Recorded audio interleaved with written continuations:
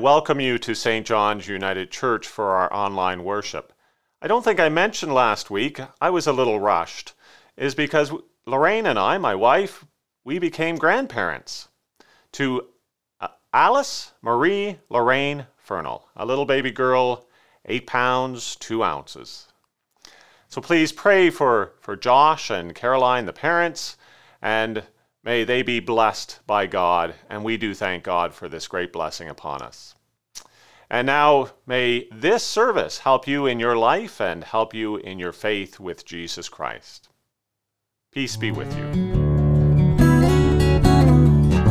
I am the salvation of the people, says the Lord. Should they cry to me in any distress, I will hear them, and I will be their Lord forever. O God, who founded all the commands of your sacred law upon love of you and of our neighbor, grant that, by keeping your precepts, we may merit to attain eternal life through our Lord Jesus Christ, your Son, who lives and reigns with you in the unity of the Holy Spirit, one God, for ever and ever. Amen.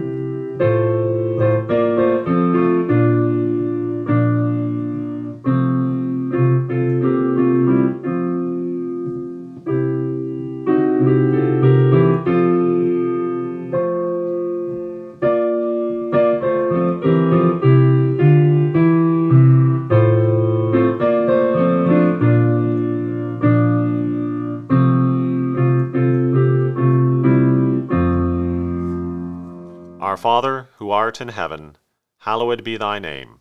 Thy kingdom come. Thy will be done on earth as it is in heaven.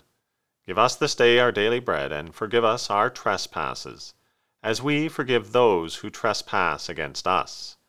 And lead us not into temptation, but deliver us from evil. For thine is the kingdom, the power, and the glory, for ever and ever. Amen. Psalm chapter 1 Happy are those who do not follow the advice of the wicked, or take the path that sinners tread, or sit in the seat of scoffers, but their delight is in the law of the Lord, and on his law they meditate day and night. They are like trees planted by streams of water, which yield their fruit in its season, and their leaves do not wither. In all that they do, they prosper. The wicked are not so, but are like chaff that the wind drives away. Therefore the wicked will not stand in the judgment, nor sinners in the congregation of the righteous. For the Lord watches over the way of the righteous, but the way of the wicked will perish.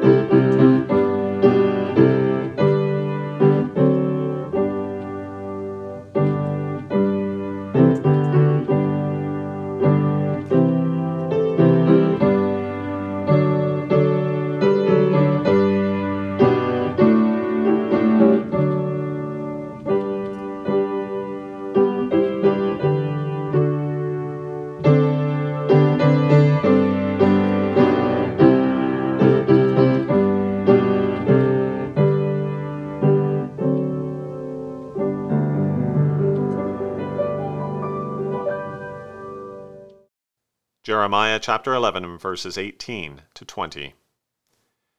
It was the Lord who made it known to me, and I knew. Then you showed me their evil deeds. But I was like a gentle lamb led to the slaughter, and I did not know it was against me that they devised schemes, saying, Let us destroy the tree with its fruit, let us cut him off from the land of the living, so that his name will no longer be remembered.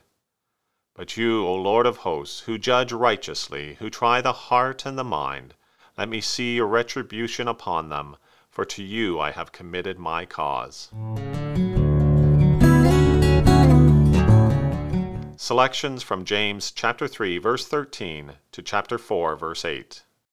Who is wise and understanding among you? Show by your good life that your works are done with gentleness born of wisdom. But if you have bitter envy and selfish ambition in your hearts, do not be boastful and false to the truth. Such wisdom does not come from above, but is earthly, unspiritual, devilish. For where there is envy and selfish ambition, there will also be disorder and wickedness of every kind. But the wisdom from above is first pure, then peaceable, gentle, willing to yield, full of mercy and good fruits, without a trace of partiality or hypocrisy and a harvest of righteousness is sown in peace for those who make peace. Those conflicts and disputes among you, where do they come from? Do they not come from your cravings that are at war within you? You want something and do not have it, so you commit murder. And you covet something and cannot obtain it, so you engage in disputes and conflicts. You do not have because you do not ask. You ask and do not receive because you ask wrongly, in order to spend what you get on your pleasures. Submit yourselves, therefore, to God. Resist the devil, and he will flee from you. Draw near to God, and he will draw near to you. The Holy Gospel of Mark, chapter 9, verses 30 to 37. They went on from there and passed through Galilee. He did not want anyone to know it, for he was teaching his disciples, saying to them, the Son of Man is to be betrayed into human hands, and they will kill him. And three days after being killed, he will rise again. But they did not understand what he was saying and were afraid to ask him. Then they came to Capernaum, and when he was in the house, he asked them, What were you arguing about on the way? But they were silent, for on the way they had argued with one another who was the greatest. He sat down, called the twelve, and said to them, Whoever wants to be first must be last of all, and servant of all. Then he took a little child and put it among them, and taking it in his arms, he said to them, Whoever welcomes one such child in my name welcomes me, and whoever welcomes me welcomes not me, but the one who sent me.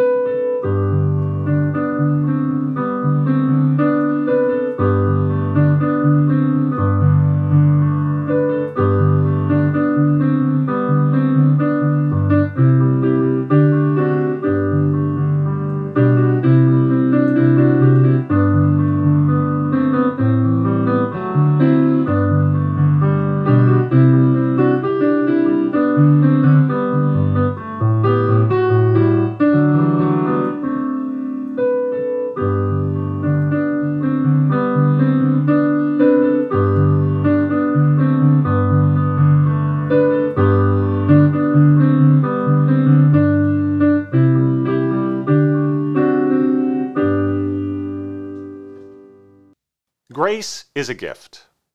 Now, a gift is free for those who receive it, but that doesn't mean that a gift is cheap.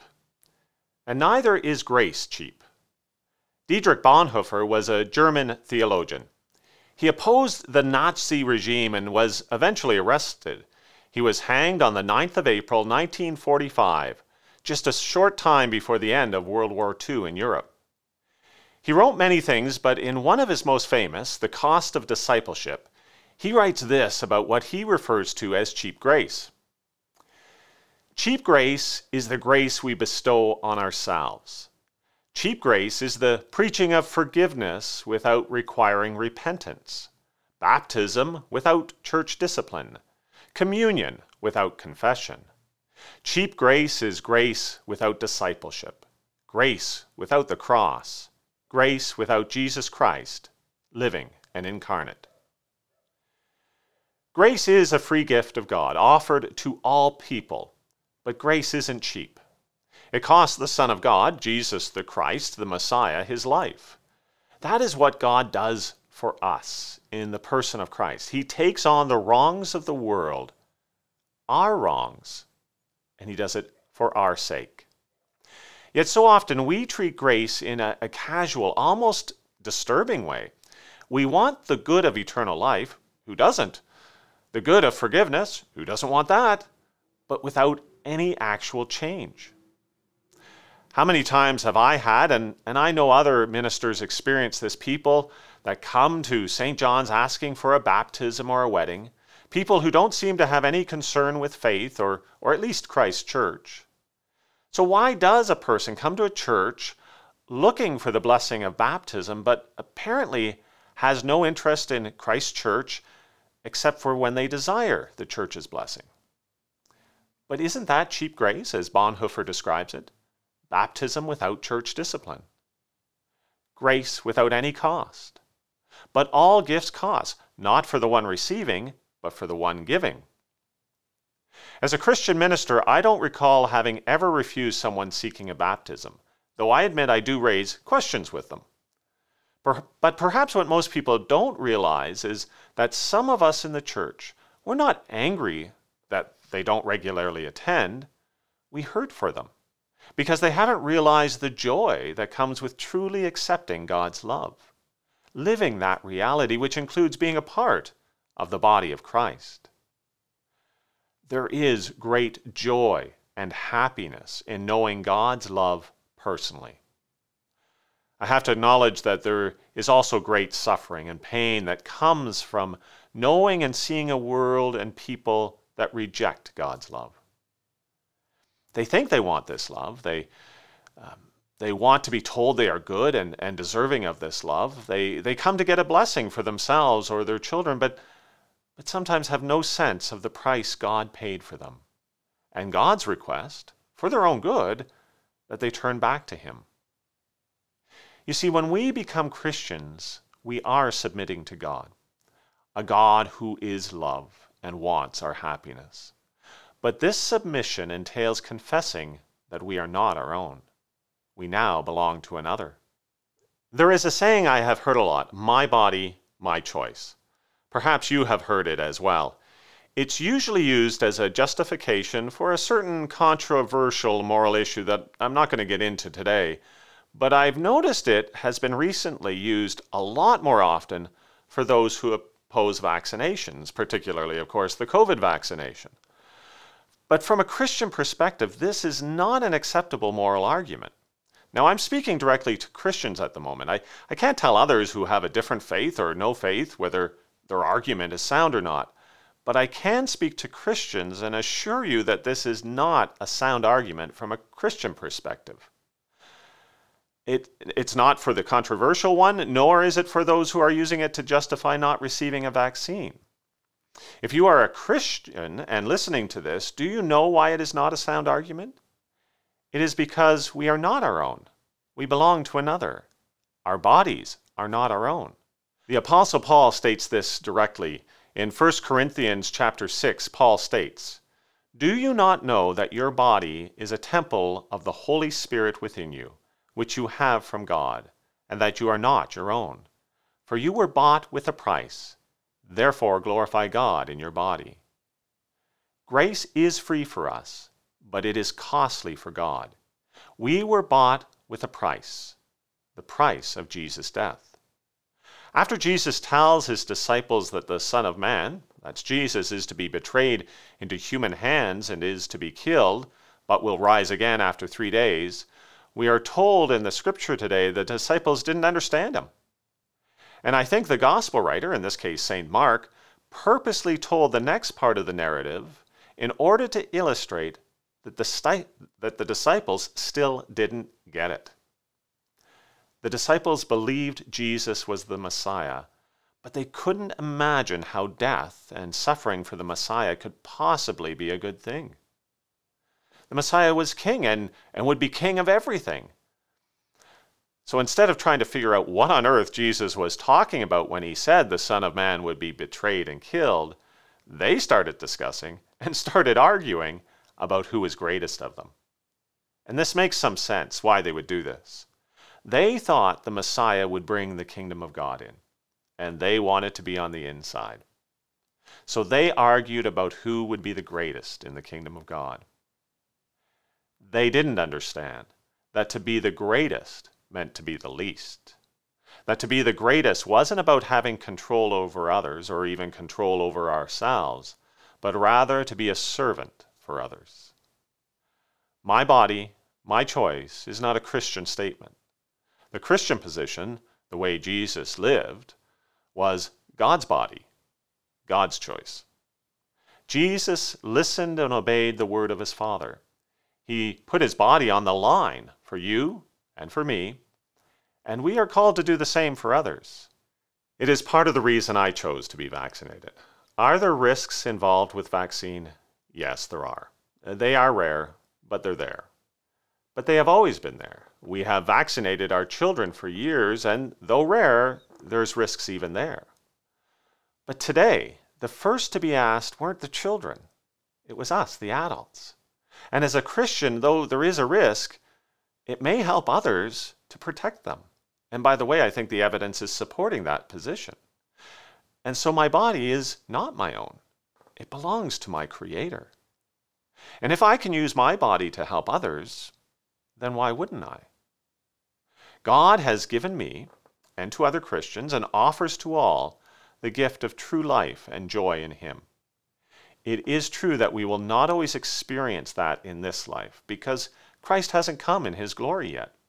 So while we wait for him, for the Christ, for the Messiah, he calls us to live in faith and love love for God and love for others. Jesus paid the ultimate price death, death on a cross. He paid it for me, and he paid it for you, and he paid it for everyone hearing this. There are no exceptions. It was at great cost. The Father, God, and his beloved Son. God gave his beloved Son because God loved the world so much. And now, now we have the opportunity to do the same, to offer ourselves, as it says in Romans chapter 12, as a living sacrifice. Let me read that to you. I appeal to you, therefore, brothers and sisters, by the mercies of God, to present your bodies as a living sacrifice, holy and acceptable to God, which is your spiritual worship. Do not be conformed to this world, but be transformed by the renewing of your minds, so that you may discern what is the will of God, what is good and acceptable and perfect. We have an opportunity to live in that same realm of freedom for others. That is, we can give of ourselves freely in love for the well being of other people, just as our Lord did. But it may be costly. It's free for them, but costly for us. But that is okay. That is the way of the cross, the way of our Lord. Grace is free, free for all who will receive it, but it is never cheap. Peace be with you.